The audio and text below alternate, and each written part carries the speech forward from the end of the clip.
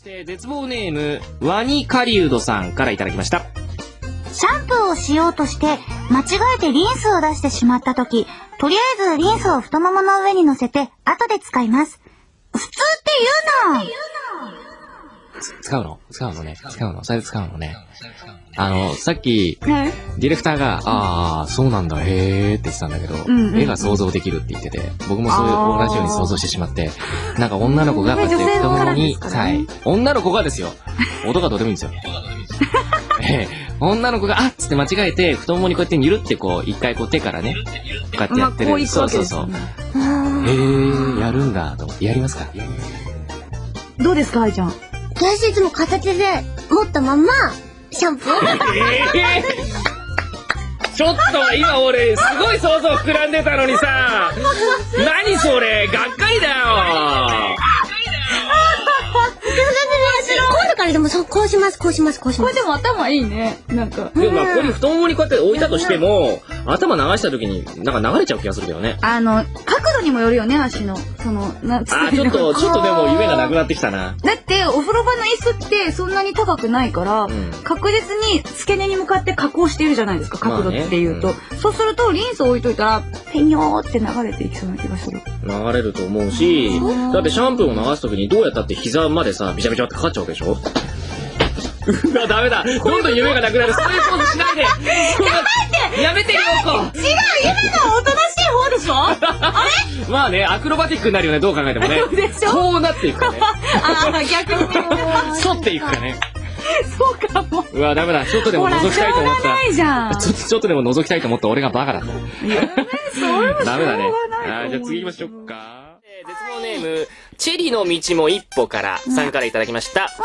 続3話の A パートをきっちり楽しもうと思い、右目でテレビの画面を見ながら、左目で単行本の7課を読みつつ、ヘッドホンで藤吉さんの声とラジオドラマを聞いていたら、非常に疲れました。きっちり道は険しいですね。はい。はい。確かに。疲れますよ。あれはですね、大変なんですよ、本当に。大変ですよ。撮る方も大変だったんですけど、はい見る方も大変だと思います。そうですね。ねどこに意識を持っていけばいいのやら。ん何回見たらいいのやら。でしょ？うん。だってやっぱり男として見たら、おっぱい出てきたら、うわ、おっぱいだってなって、もうそれからもうおっぱいしか見てないですから、そしたら、ああ、もう内容とかわかんねえ、全然わかんねえ、もうおっぱいだったな、つって終わっちゃうから、まあそうですね、スパッツでしたもん。でしょ、うん。でも全くエロくないんだけどね。そうですね僕に言わしたらもう全く藤吉さん刺さらないので、全然エロわくーエロくなかったんですけれども、はいなんか健康的だったので非常に。あ、まあそうですね。ううんん。だけど、おっぱいが出てきた瞬間はもうおっぱいにしか目がいってないから、もうわかんないわけじゃないですか。そう、いい揺れ方してましたね、そうでしょう、ね。あそこの瞬間はすっごい良かったんですけどいや、ね。ほんとほんと。えすごかっー、なので、まず1回目は男としてみたら、うわ、なんか藤吉さんのおっぱい出たぐらいにしか思ってくれないと思うんですよ。ああ、そう、そうかもしれないでしょですね。ううん。ん。多分2回目は、もう内容とかわかんなくなっちゃって、うわ、あい井上結構出てた？みたいにな。そうだ、そこだそこにも持ってかれるんうんだって。なっちゃうでしょ？はい。っていう感じになっちゃうわけじゃないですか。そしたらやっぱ2回3回という楽しんでいただけるものになったんじゃないかと思うんですけれども。じゃあ、そういう時は DVD で。ですね。みたいな。そういう時は DVD よろしくお願いします。そのうち出ますよ。あのー、これは、えー言っていい話かどうかわかりませんけれども、えー、とある、来た。はい。とある声優さんがですね、はい。俺ぐらいになると、えー風俗の雑誌見てて、顔隠れてても、いい顔してるかどうかわかるんですよ。って言ってました。風俗雑誌で、大体その風俗嬢の方が顔を隠されてるんですね。へー。でも、俺ぐらいになると、わかりますね。これはいいです。あ、これはちょっとイマイチですね。って言ってました。えー、ちょっとすごい引っかかってるのが、神谷さんに対してその敬語ってことは神谷さんより下ってあー、ことしまっだよね。たちょっとした情報が出ているってことはさ、ちょ、意外、えー、神谷さんでさ、なんかそういう、な、えー、うーん。次行きましょう。はーい。絶望ネームあだ名が変態仮面いただ様からあこちらにいらっしゃる方からいただきまお、した。大丈夫？手挙げて。後悔後悔するよ。後悔するけど言うよ。言うよ。行くよ。はい。ゲームなどで女性キャラクターを選択するときはおっぱいの大きさで決めます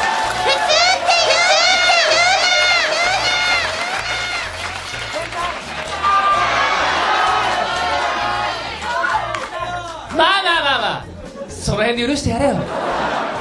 みんなだってどうせそうだろ。あ何あわかんねえよ。なんでああなの。俺じゃねえよ。あいつだよ。ね。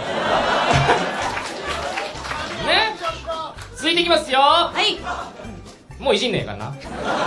絶望ネーム隣のトグロ弟さんからいただきました。普通っていうなおっぱいって単語に反応してしまいます。普通って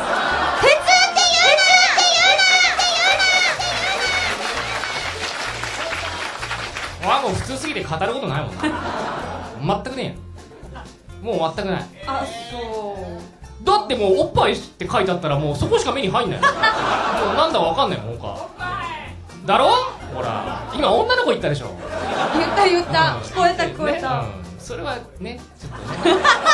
ドキドキドキしちゃう。なんで私が言ってもドキドキしないのそうなんの？さて続きまして。もういいっすいいっすはい。はい。じゃあ次。はいえー、絶望ネーム。おっぱいが心配さんからいただきました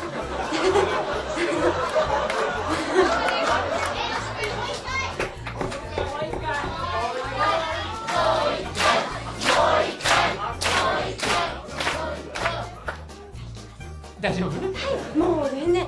全然もうどうかと思うからね。な何だ、はいじゃあもう絶望ネームだからね。まあしっかり読んであげましょうか。はい。そうですあのじゃあここにいらっしゃる方にこちらの方に願いを込めて言いたい。もうでは絶望ネームおっぱいが失敗さんからいただきました。どなたですか？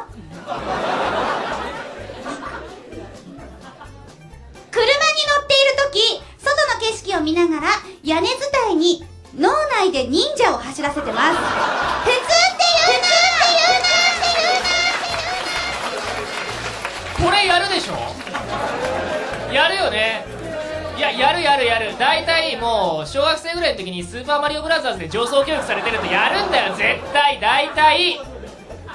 ほらなんかシーンとした。なんで俺がゲームで物を例えるとみんなシーンとするのかな。やるよね。やるよね。割と普通ですよ。なんかさっき打ち合わせしてる時に「えー?」って言われたからね。やらないですか？やらないですね。小林さんは？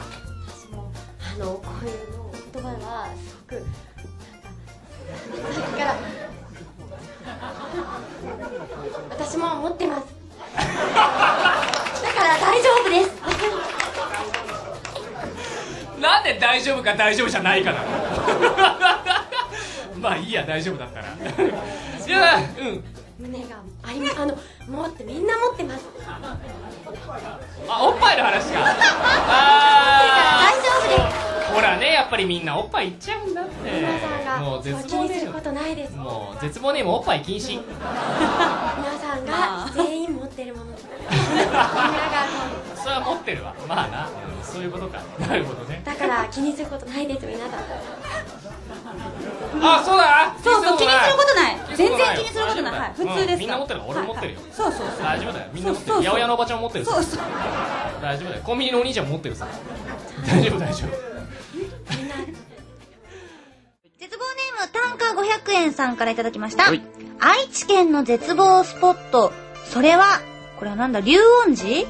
と呼ばれる、尾張西国三十三観音の第5番札所、通称ママ観音です。はあ500年以上の歴史あるこのお寺は日本で唯一のお乳のお寺です。境内の至る場所にお乳があります。エンマも手洗い場も航路もすべてが立派なお乳型。まさにお乳だらけのお寺なのです。安産と授乳の神、授乳完全音を一度参拝されてみてはいかがでしょうか？わあ、それおっぱい寺じゃないですか。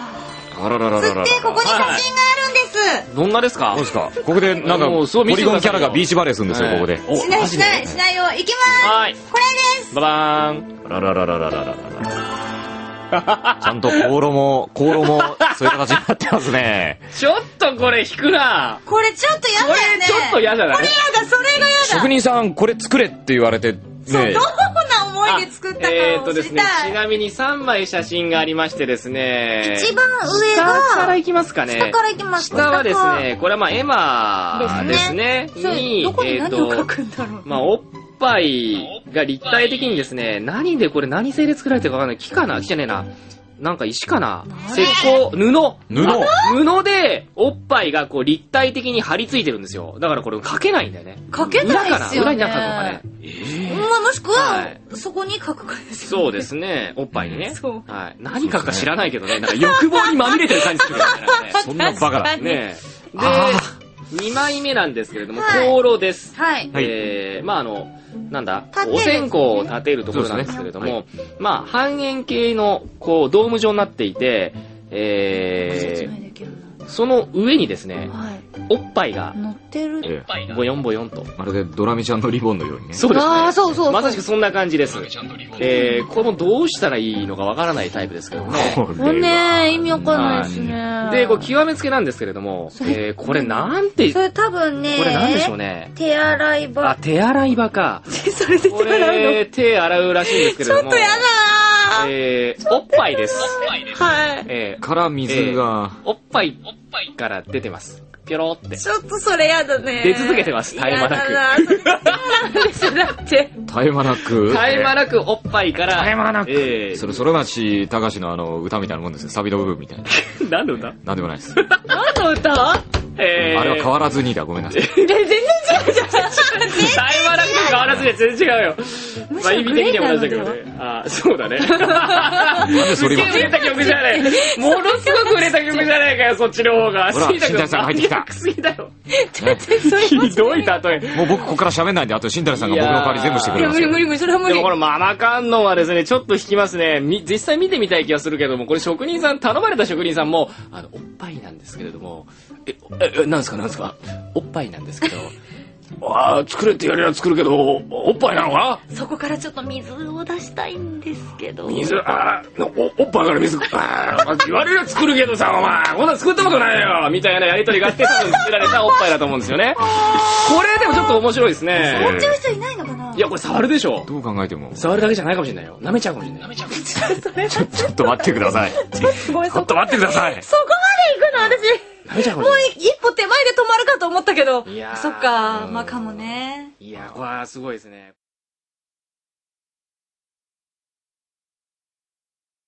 絶望ネームベジータの嫁さんからいただきました訴えるよ、クラスの女子がスカートがめくれた時中にハーフパンツ履いてるのに見ないでよみたいな顔されました訴えるよああ。これわかる。わかりますね。自意識過剰だな。もいやわかるよ。わかりますよ、でも。うんええ。圧倒的に僕ら不利ですからね。はい。男の方が。え。だって明らかにはい。下着は見えないわけじゃないですか。それも僕は分かってるわけですよ、はい。だけど、なんかちょっとスカートがピラッとかなった瞬間に目が合ってしまったりすると、何見てんの何見てんの？変態？何変態なの？変態？何変態なの？え、何？警察？行く？警察？行く？よかったら、みたいな顔すんじゃん。すしないよ、そこまで。んだよ。すんだよ。あいつら超怖えんだよ。すんだよ。